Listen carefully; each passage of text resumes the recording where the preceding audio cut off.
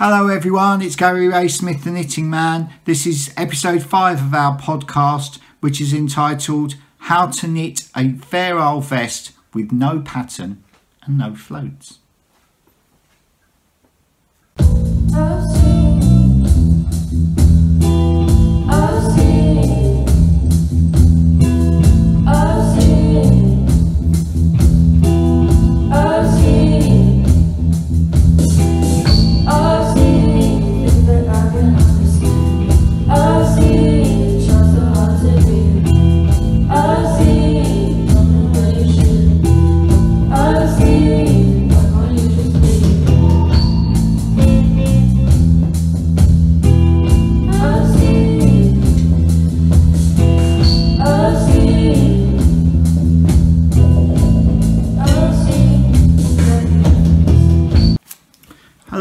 Welcome back to episode five of the Knitting Man podcast. Um, this week we're going to start a uh, a new project. So we're going to start knitting a Fair Isle vest off pieced with no pattern um, and obviously no floats. And we are going to uh, I'm going to be casting that on uh, today in this episode. Um, the other things about this episode are that um, halfway through recording it, we um, we had Storm Eunice arrive in Cornwall here, and uh, we lost power for a whole morning. So um, uh, it, we we were quite disrupted for a while. The other thing you might notice is that my grandchildren were here for uh, a lot of the recording, so you might hear a lot of children noises in the background. Um, and it, it was uh, Vera, Atlas, and Doris responsible for that. Um, and what else have we got in this episode? Uh, travels with my yarn has been really reduced mainly because of the weather here. So we've got a little clip from last week where um, me and Atlas went to the King George Memorial Walk uh, in Hayle Estuary. So, it, but it's going to be really small this week. Um, and I will be answering some questions, but they're going to be mixed in with the stuff about the uh, Isle jumper. And uh, the other thing was that Mrs. Smith was really concerned that last week um, I, I might have been a bit too frivolous, particularly, that's episode four, people um, particularly when I left little snippets of her at the end when I was doing the video editing. I didn't edit her out, I left them in because I thought they were funny. And um, she thinks that I ought to be a bit more serious, a bit more business-like about what I'm doing. But um, I, so, so for this week, I'm going to try. I don't know how long it'll last. So this is episode five, and, and we reviewed our four previous episodes, and um, and we thought about where we we'd like to be going in the future, and um, and also we looked at everyone's feedback, and and obviously I've got two strands of knitting. I've I've got this sort of Isle stuff that I do completely off the cuff, make it up as I go along. I like to call it off piste knitting, and then I've got stuff that's that's planned and graphed out. And and so what we decided to do is that we we would start one project of each because there's some people and I had a letter this week or a, a comment this week from what the zeal and they said I'm relatively new to being a knitting addict but I'm keen to get to the point where I can improvise colour work as I go. And I imagine they're talking about um, like the Isle stuff that I do. So um, I want to cover that. So um, in order to cover that, what I'm going to do, and we're going to start today, is to um, cast on a completely new off the cuff wing it make it up as I go along Fair Isle jumper uh, vest and then at a later date, it might be next week or the week after, what we're going, going to do, because I had another comment this week, and this was from Before Time, and they said, can you make a video of converting a painting to a chart?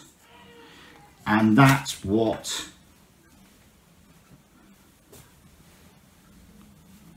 these sorts of things are all about.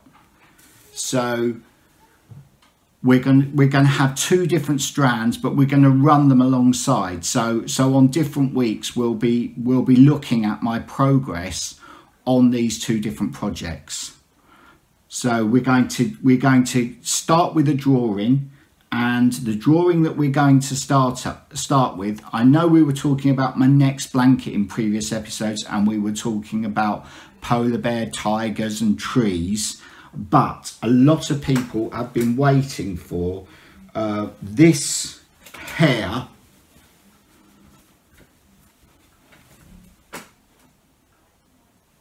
to be made into a pattern. Now this actual blanket is huge. And um, and so what we're planning is we're going to redraw this pattern and I will repaint the pattern. And we are going to make it into a smaller blanket that's manageable for somebody that's just starting to do this stuff because there is a lot of work there and you're carrying the yarns for hundreds of stitches at a time without changing colour. So I'm, what I'm going to do is make something much more manageable for people. But people that are particularly after this pattern have asked me um, again and again for it. And um, it, it's a pattern that I just haven't got round to doing. So uh, starting from today, so we'll get we'll we'll do that hare, um, and that but that will be in a week or so uh, till we start that. Uh, but this week, starting today, we're going to do a Fair vest or start a Fair vest. So uh, before I cast on, um, I'm going to uh, go through a couple of things.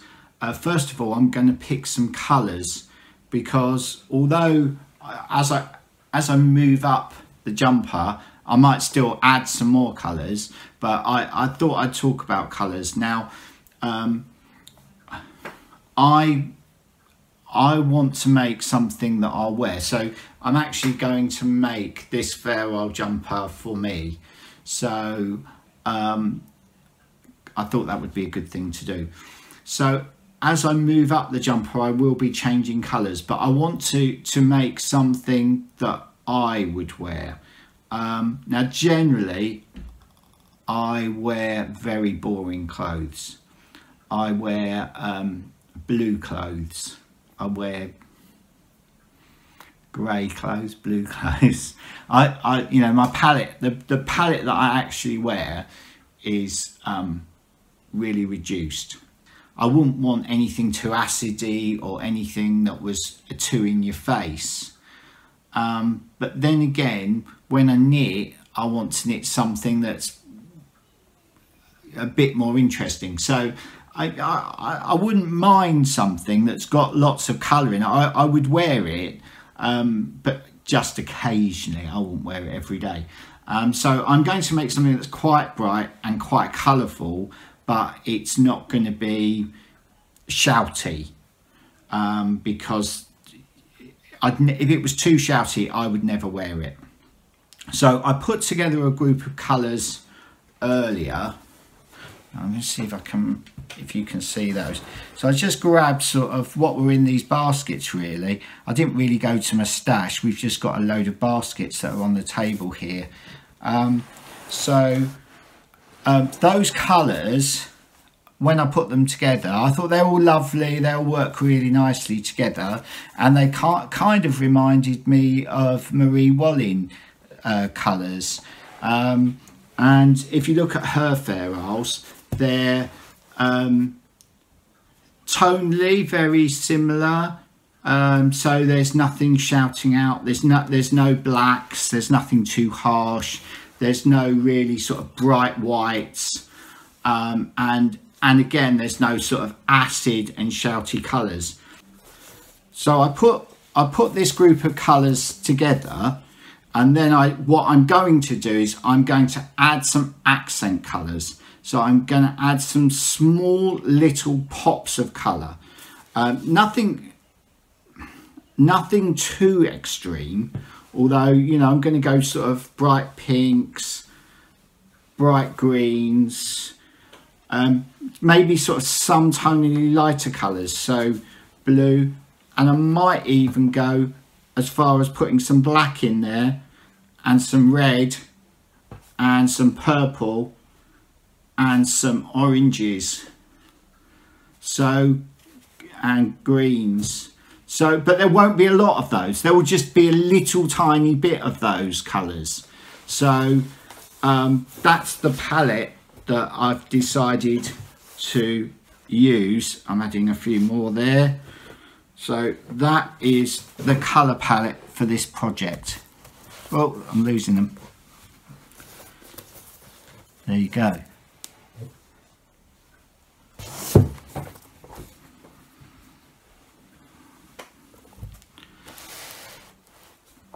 Now the next thing that I need to do is some maths.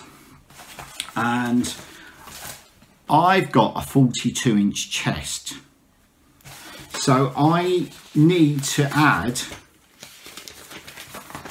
because I don't want it really snug. So I've got to add what's called positive ease. So I want to add about 10% positive ease. So um, that means that that it's loose on me because I, I want it loose on me. I don't want it tight. So I want it to come out at about 46 inches. So that's a sort of a large, extra large in sort of an English, somewhere between large and extra large in a, a British man's garment. So I know that if I use three and a half mil needles and this thickness of yarn, fingering weight yarn, that I knit eight stitches to the inch. Now, when you look on the Jamieson's website and you look at their spindrift, which is a similar weight of yarn, they say it using 3.25 needles to 3.25 millimeter needles um, that to the 10 centimeters, which is four inches, um, that's 30 stitches. So mine comes out at 32 so I'm getting 32 stitches in that so I must be knitting quite tightly but maybe it's the way that I carry yarn that makes it that third I get 32 stitches to four inches or 100 mil. So for my 42 inch chest I need to knit 46 inches.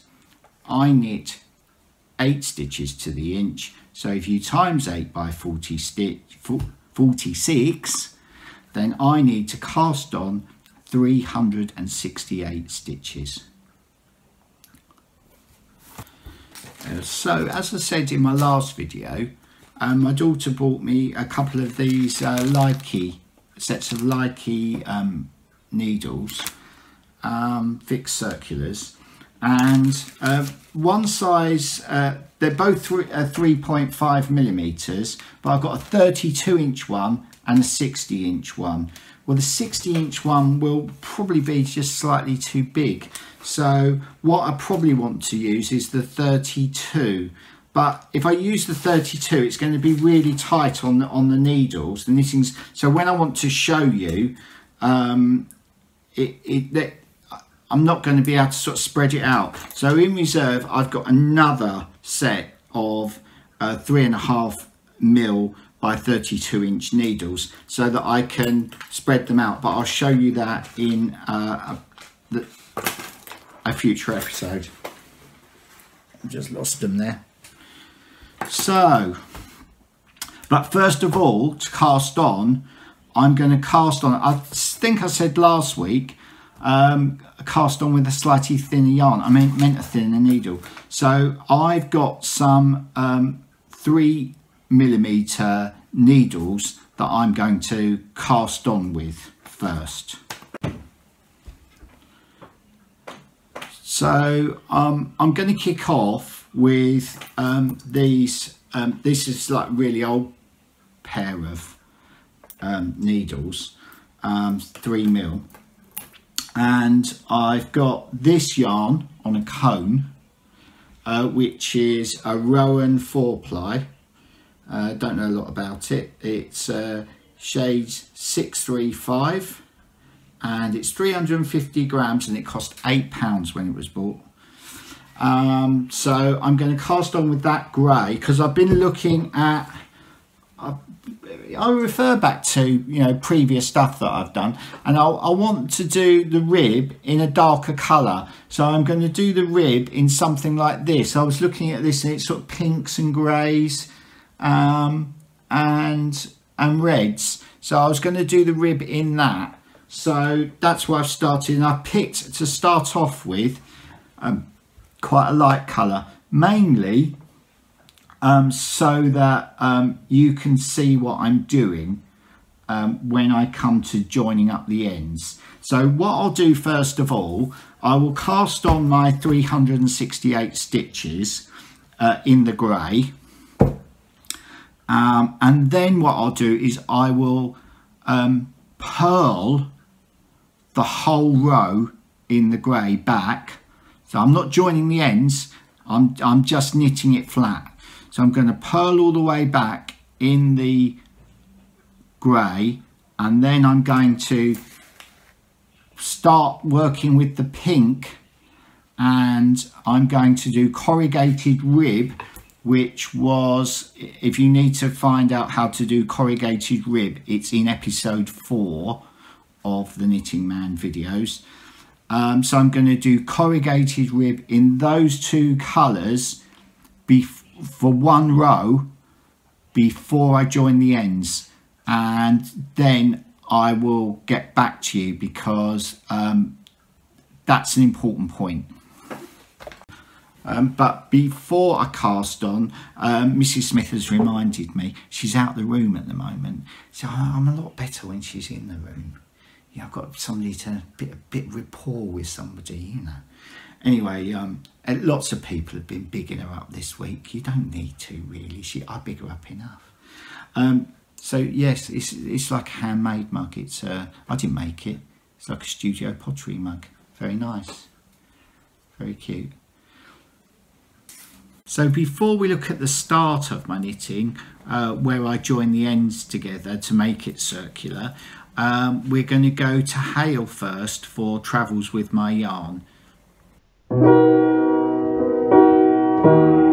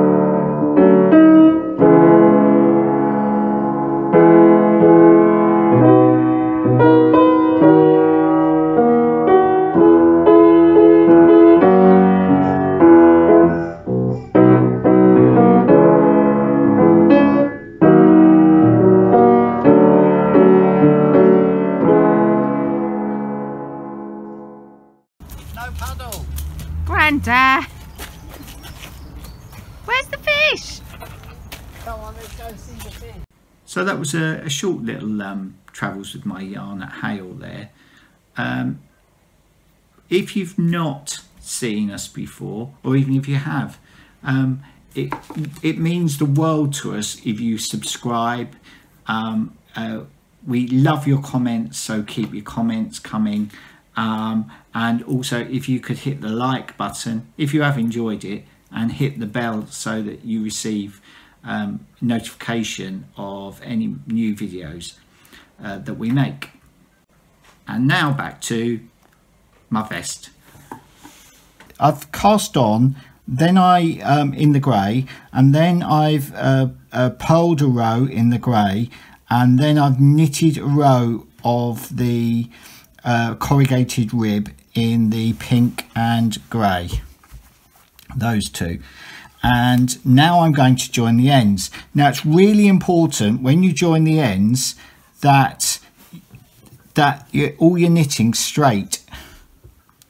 So if I join these ends and there's a twist in this piece of knitting like that, I will end up with a Mobius loop. And if you've ever created one of those when you've not wanted to, um, you'll know what I mean. You don't want to do it. It's no fun. I mean, basically, um, you know, the whole thing's rubbish. So I've just checked and I'm pretty certain. I'm just looking over it again before I join my ends, just to check that everything's nice and straight. And that there's no twist in it at all.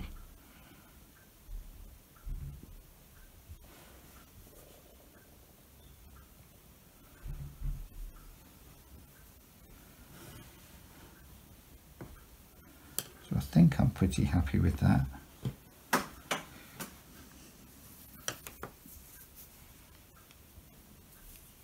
Okay. So I don't know if you can see that, Joe, but there isn't a twist in that as far as I can see. It all looks good. Okay, so now I can join these ends. Now it's it, it's important as well when you because you can still put a twist in when you come round to the next row. So um, that's it really. That's all I wanted to say.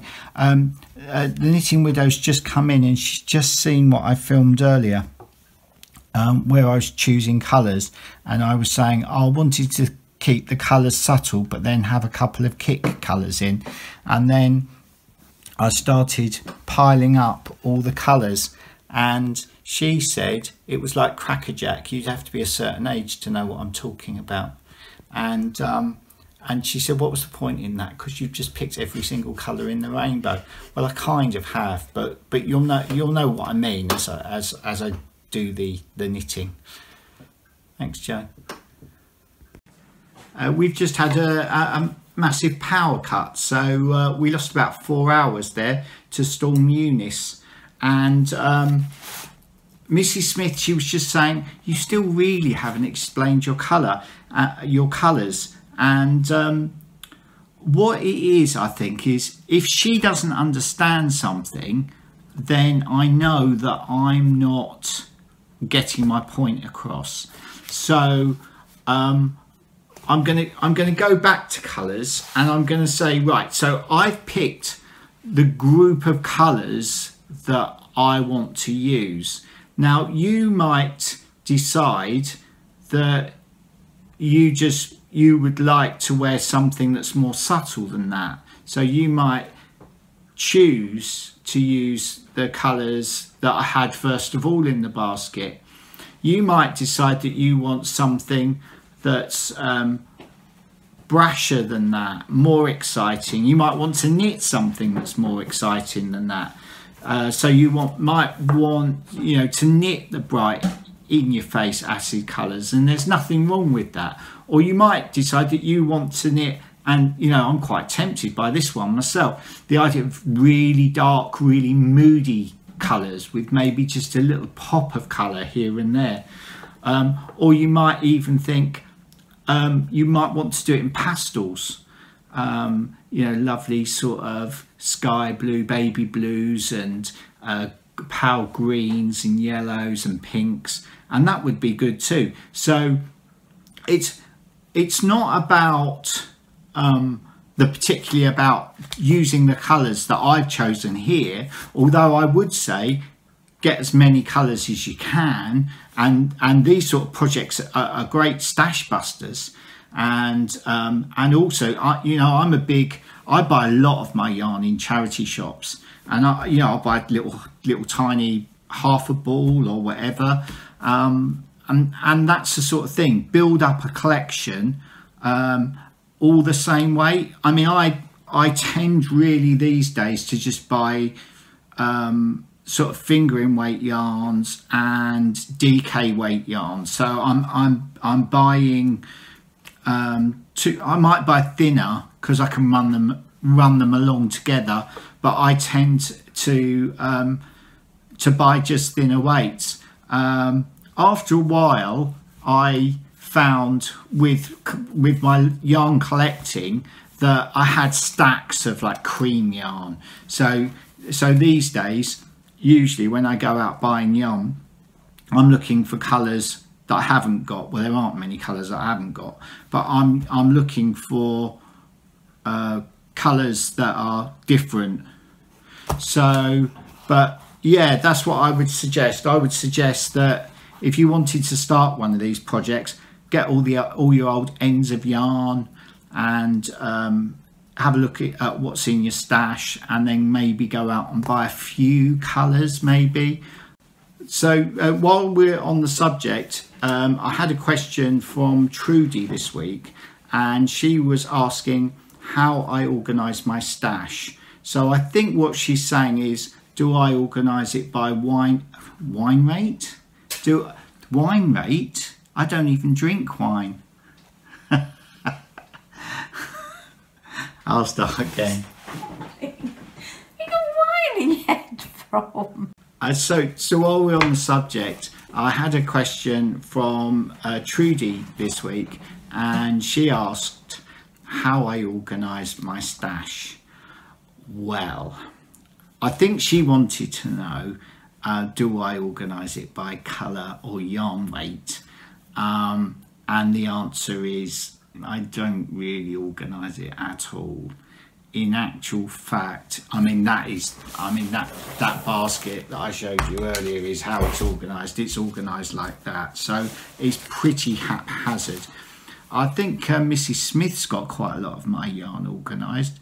She has a selection of black dustbin bags and she likes to pile my yarn into those and tuck them away into the darker reaches of the loft never to be seen again in actual fact I've got so much yarn up in the loft but I can't get to them because of the records in the way so one day I would like to get a few of the records out of the way create a path through the loft to try and extract some of my yarn um, but um, really it does show the love that Mrs. Smith has for me that she has, actually hasn't put those black, black bags out for the dustbin men. What? Um, so at this point, um, I think I need to talk about uh, because when when you come back next week, I should have uh, quite a few rows done, hopefully. Um, so I'm going to going to refer back to Sarah's question from last week and the week before. And Sarah's question was how I choose adjacent uh, patterns. Now you can get books like um, that's an Alice Starmore one, which um, I've never I've never used. I've never referred to um, anybody else's pattern. I never I never use anybody else's pattern. I just make them up as I go along. Um, but you know, Alice Starmore, brilliant. Um, if you can get any Alice Starmore books, get them because they're great. Um, uh, I've got loads, always worth a look. Um, so what I do now, when I'm doing Isle patterns, uh, the important thing is that the, the the pattern is an even number. So, um, like eight stitches, or 10 stitches, or 12 stitches, or 20 stitches. So, what, um, but, but you've got two colours. So, if each colour is an odd number, that adds up to an even number. So, if I if I start a row, I think there's postman here, Joe. Don't think that's getting through the door. Oh, it did get through the door. Um, so um, it, I might put um, a stitch of red and then one stitch of red and then nine stitches of black, one stitch of red, nine stitches of black, and so on. So that might be how I start. So when I say I'll, I'll, just I'll just pick numbers like that. So I'll I'll just go nine black, one red, nine black, one red, and that's the first row done. And then all I've got to do is decide when I come to the next row what I want to stick on top of them. So in for in this instance, I've gone three red, seven black, three red, seven black. And then when I come to the next row, all I have to do is decide what I'm going to build on top of it. It's really easy. And you don't have to re refer to anything. You can just keep rolling and you just make the decision at the beginning of each row what you're going to do to build on top. Well, I will explain this in further depth in future weeks. Uh, so that was the postman bringing a package for Joe uh, to make. Uh, it was icing, packet packet of icing that um, has been delivered for Arthur, Arthur's cake, Arthur's birthday cake. Uh, she's baking him a, a Sasquatch cake. If you know what that is, please let me know in the comments below. Um, so this is where I am uh, with my rib so far. So I started with a grey and a, a, pale pink and then I've moved up into a slightly dark pink, a mid pink and now I'm in a quite a bright pink and I've changed the grey into a black. So what I'm actually doing um, is, is doing a fade with the pinks um, and I think what I'm going to do, uh, I'm going to go up into reds with that on on the pinky red side. And on the black grey side I'm already starting I've just gone into a, you can't really you're not going to be able to tell I don't think. But I've started to go into a, a, a lighter grey again or it's a mid grey.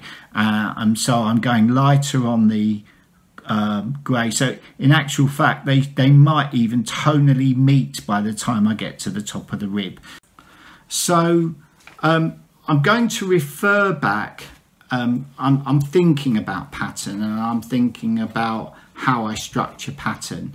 And uh, with uh, this jumper, um, which is called Mellows, um, the I've not completed the patterns necessarily. So I've started I've started to knit this diamond, but I've not completed the diamond. I've started another pattern in the middle of it, if you can see that. So, I mean, normally with Fair Isle, you would complete that pattern and then start another pattern afterwards. But I haven't completed the pattern. And, um, and, and this is something that I do a lot. Joe, if you've got um, Swallow's jumper there. and I, I think Swallow's jumper is uh, is is where it's probably most visible. So I I start to build up a pattern and then I stop and the there's an idea behind it. Um, so I don't know if you can see with swallows. Um, yeah, you can. Yeah. So like here, I've done that same thing. I haven't finished that pattern before I've started another pattern. So it's almost as if all the patterns overlap. And where it's really visible is there, across there. And I think it's more visible there because there's probably, you know, that might be, and I'm guessing now, but that might be a nine stitch pattern and that might be a seven stitch pattern. So it's really quite clearly visible along where those patterns join because they're completely out of sync. And the reason that I do that is to throw the eye around because otherwise it's just pattern stack on pattern on stack pattern on pattern and it's just it's boring but when you start cutting the pattern up then the eye flickers around. It, it has got it, has got nowhere to land.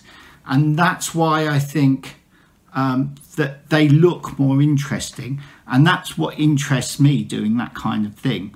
Um, the other thing is that um, I had it, I picked a yarn and I don't know if you can see it there, but it within the within the white there are speckles of grey, and that is where um, a a bottle of Indian ink exploded in a bag. I, I, seem to have problems with things exploding in bags all the time. I was talking about a um, um, a pair of needles that came apart in my bag last week. Um, but yeah, the ink came apart in a bag that that yarn was in. So that yarn is all speckled with ink. And um, so again, that's throwing the eye around. And, and this is the really, really pretentious bit. Um, I was actually, when I started doing that, I was thinking of um, music, I was thinking specifically of the Catherine Wheel by David Byrne. And in the Catherine Wheel by David Byrne, it, it, he like builds up rhythms and and then you, you you just get into it and you just get you know you're tapping along to rhythm and it just stops and he starts again and slowly start he builds up this rhythm. And um, so there's there's not like gaps between the music eh, but he, he does this thing where he builds the rhythm and stops builds the rhythm and stops. And I was actually thinking about that and it seems absolutely so pretentious to say that I was thinking Mrs Smith's laughing has to live with it. Um, so that's the thing is as well recently because I had it on vinyl um, uh, the, the Catherine Wheel uh, by David Byrne, and and then I I was I was in my studio, and I'm not allowed to film in my studio because it's too much of a mess. She won't let me film in the studio, but I I was in my studio and I put on Spotify. I put um, that David Byrne album on, and um, it puts adverts in so it builds up the rhythm and drops you, and then instead of starting another rhythm, it puts an advert in the middle. It don't work on Spotify at all. It's rubbish. Um, so next week I'll get back to you and show you where I am with my new off-piste Fair Isle vest. If anybody wants to knit along with me, I'd love that. I would really love that. Um, but yeah, share it with me Um, I, I, don't know what the best way of you sharing it with me, maybe on Instagram or something. Um, but you know, I'd love to know that other people are, are, are trying it. Um, and maybe next week as well, we'll start looking at this. Was this was um, the one of the original drawings. I did a couple of brown, I think, and a couple of blue. One of the original drawings that I did for um, Atlas's blanket. So um, what happened was it. I, I, originally what I do is I I do loads of these drawings, and I I call them uh, ghost paintings or ghost jumper paintings because the majority of them because there's not enough time in the day the, the majority of them will never see the light of day. They, they won't get made just because they don't have the time. So so they're ghosts of jumpers that might be. Um, so this was originally a ghost jumper but it still is a ghost jumper painting because uh, it hasn't been made into a pattern. Um, it became uh, this drawing for Atlas's blanket, which became Atlas's blanket. And so now what we're going to do is we're going to go back and we're going to make it into a smaller. So I might start this next week. I'm in my brain. I'm st I'm starting it next week. I'm thinking it's going to happen. Um, I'm going to start a redesign and I'm possibly, the idea is that I'm going to make a blanket, obviously a, a square oblong blanket with that design that's much smaller. And then um, potentially if I make it small enough it could be that jumper. So I'm going to uh, but I might have a little redesign a rejiggle. I don't there's certain things that I'm, you know, uh, I'm not enjoying about it that I, I think I could improve.